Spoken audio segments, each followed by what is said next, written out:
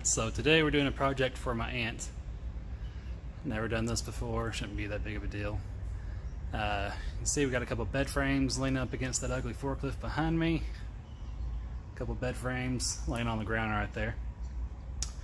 She wants to make some benches out of these bed seats to put on her uh, front porch. So let me flip the camera around here and we'll show you what's going to go on here.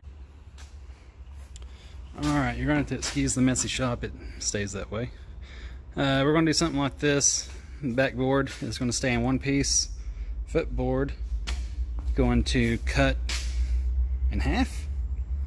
Weld one end onto this side, flip the other end around, weld it on that side, be like armrests. Then add some uh, angle iron all the way around it so she can put some wood slats on it and put a cushion on it. And we'll do both of these then it'll be done and hopefully she'll be happy.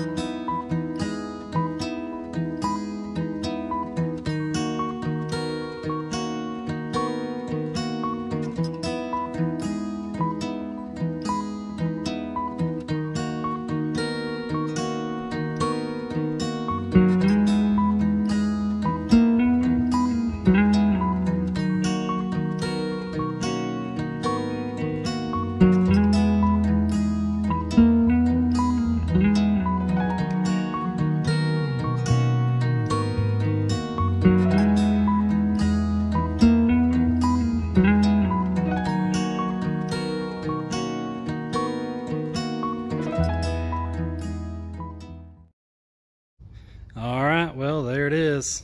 Hopefully Aunt's happy with that. Uh, she'll put her some slats on this angle iron right here and put a cushion on it. And I think the cushion on the back she's going to do. Paint it up a little bit, make it look a little bit better.